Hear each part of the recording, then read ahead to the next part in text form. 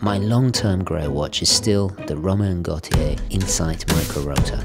I was fortunate enough to see this masterpiece of design and horology created in a factory in Switzerland. I'm still a long way off saving up, so in the meantime, I want to investigate more options and share these discoveries with you in a series of mini reviews exploring the extensive watchbox inventory. No matter if we can afford these watches or not, let's have some fun and learn about the horology pieces of watch enthusiasts' wildest dreams.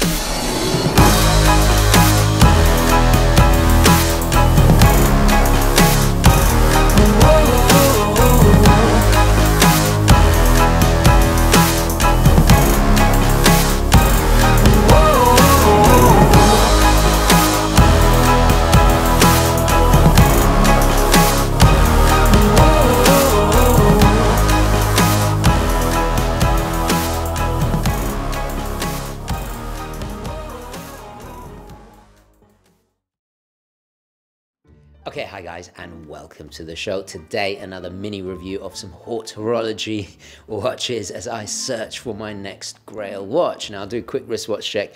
This is the JLC Reverso. Uh, I just reviewed this for Watchbox. I'm not actually going to post that video on this channel because I plan to return to JLC next year with some uh, slightly more in-depth videos because obviously JLC, my family's been wearing it for generations. I have one of their Atmos clocks uh, and also uh, their innovative watchmaking history is just so important. So I will return to JLC. But it has been nice experiencing this um, night and day moon phase watch. Absolutely gorgeous. Now, the watch we're taking a look at today, um, I also reviewed for them. I returned it. Uh, I had a really great time experiencing it. And I, I, didn't intend to um, do a video on this for my channel either. However, there's just so many amazing things that Patek got right with this watch. I do feel it's worth discussing, even though personally, you'll see why in just a moment, it's not a grail possibility. So without further ado, let's change perspectives and have a closer look.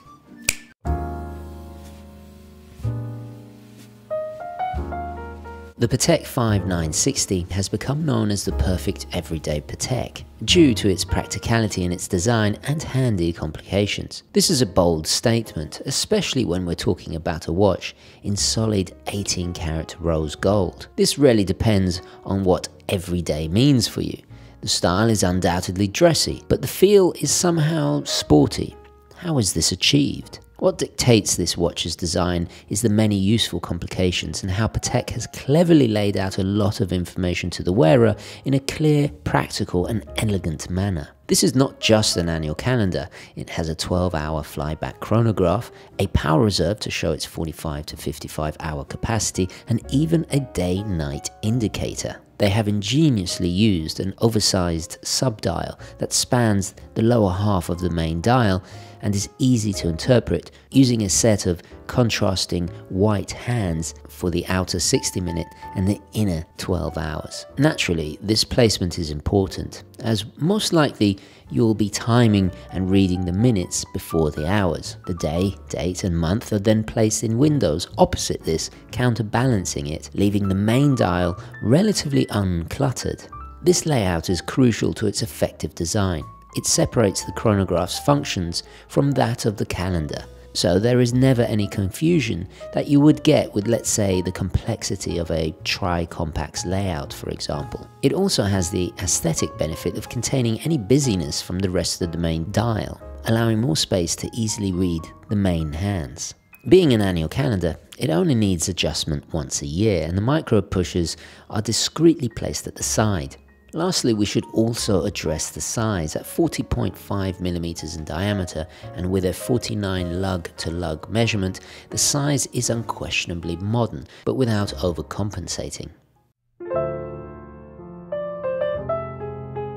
For me, one of the most compelling attributes of this watch is how its functions have been stylishly presented. The style is undoubtedly Art Deco inspired in my opinion, but not overbearingly so. Art Deco is a style of the 1920s and 30s that strived to be modern yet deeply based in the neoclassicism that varied in influences dramatically. Art Deco represented luxury, glamour, exuberance, and a faith in social and technological progress. It sounds about right, and Patek is no stranger in the incorporation of this aesthetic. Just look at their famous sector dials for some pieces more directly inspired by that elegant age. Art Deco has always been a favourite of mine.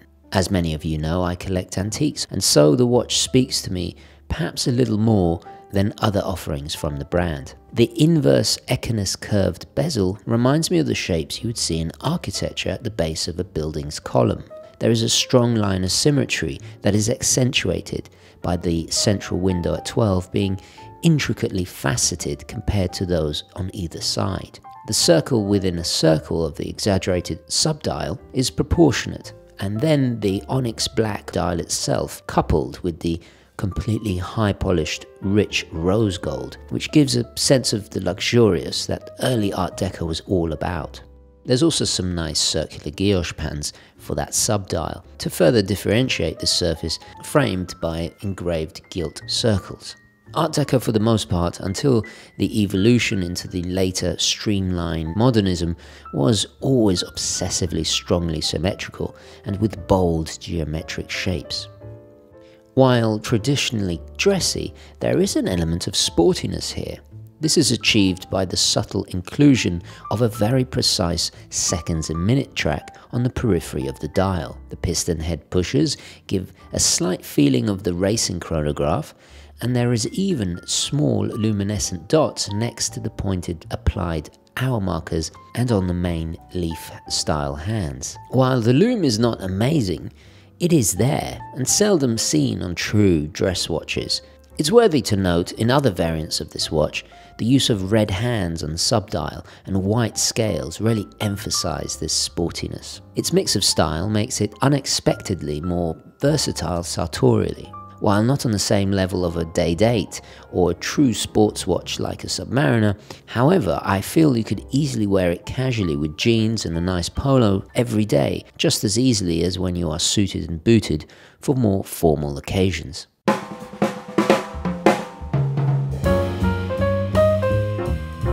When it comes to high-end watchmaking, Patek needs no introduction one of the oldest Swiss watch manufacturers in the world with an uninterrupted watchmaking history since its founding. But the 5960R is historic for several reasons. Firstly, let's not forget, Patek introduced the world's first mechanical annual calendar watch in 1996. Secondly, displayed under the sapphire glass caseback, the watch is powered by the caliber CH28 520 IRM QA24H.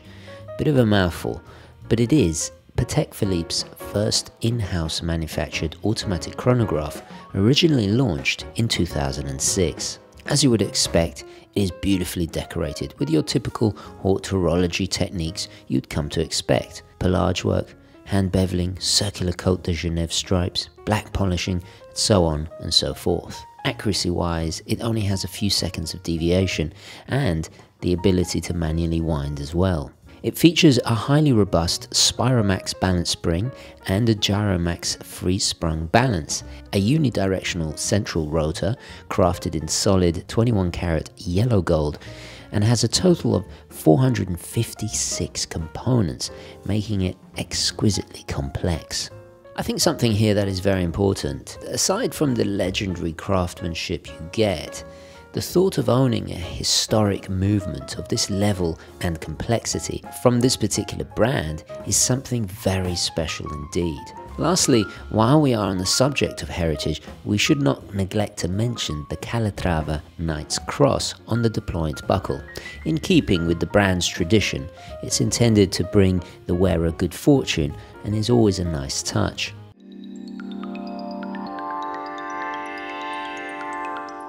In order to make all these complications possible in the chronograph movement, Patek built an annual calendar module on top.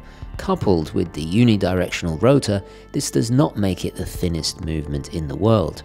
Added to the rather statuesque profile is the pronounced domed sapphire. While it's totally fine aesthetically and in keeping with the sporty, dressy hybrid feel, the 13.3mm height does make it a little tall for my liking. In terms of how it wears, it has a reassuring heft with a weight of 119 grams. I have to say it was very comfortable thanks to the downward pointed lugs. However, this is definitely something more for the larger or medium wrist. I can't help but wonder if the rotor was sacrificed and it was turned into a manual wind, the under the cuff elegance would be increased dramatically. But of course, the prestige of it being Patek's first in-house automatic chronograph would be also lost. And talking of sportiness, even an increased water resistance of, let's say, 50 meters over its current 30 meters would of course be very, very welcome. Another minor annoyance is the 21mm lug width. While I understand it's a design decision to maintain the harmonious proportions, lug widths in this size for the owner of the watch with something like this where it would be fun to change out the straps, it's just a pain finding good ones in odd sizes. One major complaint common among higher end calibers, and I think I've seen this rather too often in horology options, is the lack of hacking. But thankfully, this is not so detrimental here because it is a vertical clutch column wheel chronograph. This allows you to run the seconds almost continuously with minimal wear on the components. Plus, being a flyback, it makes it possible to synchronize it perfectly to a reference time. Naturally, this type of chronograph is smooth as butter in actuation, making its precision extremely effective. In conclusion, this watch has it all, a heritage and a bankability that is the envy of the watch world. A flawless combination of styles in a functional, easy to understand design that is not just straightforward, but masterfully classic and bewitching to look at too. Inside, you have the horological might to back it all up that delivers a host of useful complications that at the end of the day, I totally see why it's called the everyday Patek. The 5960R is not just another conservative dress watch from Patek. It's a bit more fun. Without being brash or flashy, it has a bold presence that has a certain panache. It begs to be worn while zooming about in a 1930s roadster just as much as for dapper formal evening attire. So I'm going to leave it there, guys. But before I go, a few last points um, to, to note.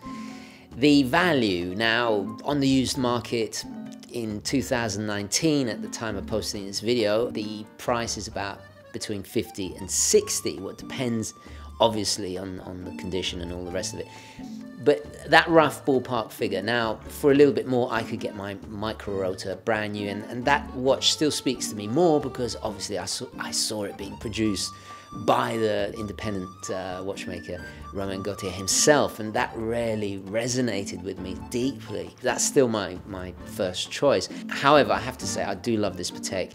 And in a, in a way, I'm, I'm kind of thankful that it's a bit too big for me because otherwise I'd be in a lot of trouble. Do nominate your suggestions for any watches you wish me to take a look at further uh, from the Watchbox website. Uh, yeah, just share down in the comments, please, your nominations. Also, do share what you think. And uh, thank you so much for watching. Please don't forget to like this video if you enjoyed it and found it useful. And as always, guys, I will catch you in the next one. Okay, ciao.